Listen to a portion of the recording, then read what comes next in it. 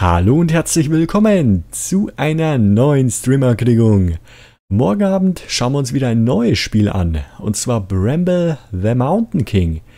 Ein Spiel, das durchaus an Little Nightmares erinnert. Wir schlüpfen nämlich in die Rolle des jungen Olle, der letztendlich seine Schwester sucht in einer durchaus ja, sehr malerischen Umgebung. Allerdings lauern dort so einige Gefahren auf uns, also ganz so idyllisch ist es doch nicht. Und ja, wie ich mich so schlage in Bramble the Mountain King, das seht ihr morgen Abend am Samstag um 20 Uhr auf Twitch. Ich würde mich freuen, wenn ihr wieder mit dabei seid. Wünsche euch natürlich an der Stelle wie immer einen guten Start ins Wochenende. Und ja, dann würde ich sagen, sehen wir uns morgen Abend. Macht's gut, bis dahin. Servus.